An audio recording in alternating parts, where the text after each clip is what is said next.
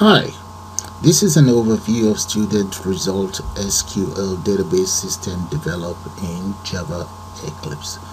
Now let me show you guys how it works. The first thing I'm going to do is I'm going to delete some of this data, some of the excess data that I have in there. We'll just click and delete. You see that's how the delete function works. Okay, and we can also reset. There we go we can add new student details. Student name is Tony Montana. The course code. Exam number. And mathematics score. English.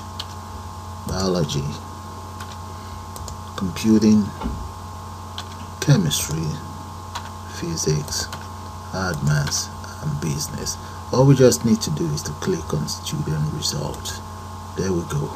See that is automatically added straight onto the database. And right here you can have the transcript printed out. We can also click on print to get a hard copy. All you need to do is to select the printer you want. Okay you can delete if you want. You guys have seen that I can also demonstrate it again. Look at that. Let's just delete this excess record of this very student Tony Montana. Delete and select Tony Montana again. Alright so we can reset. As you guys have seen and we can also exit. If you want to see the full tutorial the details of the completed tutorial will be entered on the description area. Thank you